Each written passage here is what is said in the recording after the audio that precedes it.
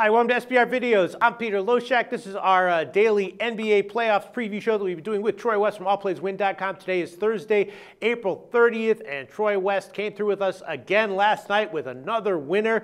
The line was tight, though. Troy West, thanks for being back with us. Hey, thanks, Pete. I appreciate it. Yeah, a couple of tight ones. You know, Atlanta yeah. wins by 10, covers by a half, and uh, Memphis covers by a half. But nonetheless, hey, I thought Atlanta would win by about 10, and I thought Memphis would win by about 7. So we feel good about it. Had another sweep at AllPlaysWin.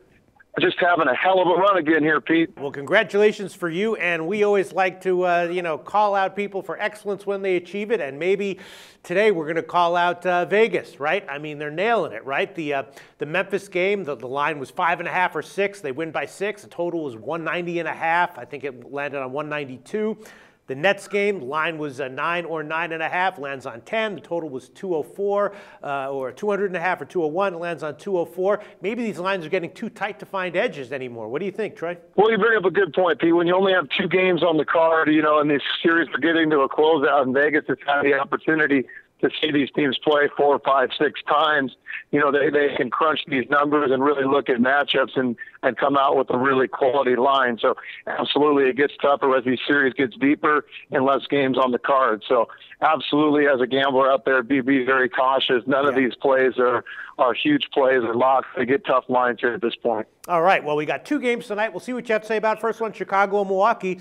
Chicago now, you know, Milwaukee's won two in a row. Chicago's still a quality team, but you know, after two straight uh, wins, Milwaukee is again a home dog. Right now, I'm seeing three and a half. Totals 187 or 187 and a half. And you know, Michael Carter Williams outplayed Derrick Rose in Game Five. And uh, you know, the question is has Milwaukee turned some kind of corner? If they have, then getting them as a home underdog, this is just like the uh, the Nets and Atlanta series, or is Chicago going to uh, get it together here and maybe pull out a decisive win in Game Six? Tough line, tough handicapping situation. What do you think, Troy? Yeah, this is actually going to be another official pick for me. Really? Let's keep okay. the ball rolling. Let's let's keep the train rolling. We've been hot as of late.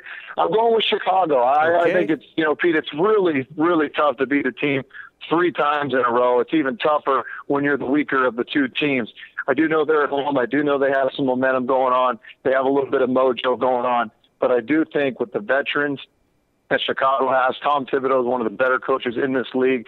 I think the Bulls have a big, big game here. They don't want this thing to go to seven. I think three and a half is too low of a number. I think Chicago gets it done. Like I said, this is the better team going into the playoffs. This is the better team going into the series. I think they got complacent a little bit with that early 3-0 lead. They get it done. They'll take the lead. They'll win the series. Three and a half as a road favorite. You're not afraid of that line? I mean, uh, you know, why is it that Milwaukee is suddenly uh, beating Chicago? Michael Carter Williams playing so well. Is that a fluke? I, I don't want to call it a fluke, but I just think that the Bulls really did get complacent. You know, teams that that, that get up 3-0, they really get into relax mode sometimes. Uh, these veterans will be ready to go tonight. It's a big, big game. Like I said, they don't want this thing to go back to a seven and have a game where anything can really happen in a game seven. Chicago will get it done tonight, and I think they'll get it done in Milwaukee. I like the veterans. As I said, Pete, veterans will step up in a big, big game. Chicago will get it done tonight. All right, minus three and a half. That's an official pick from Troy West. Me personally, way too scared of that game. I'm going to pass on that one completely.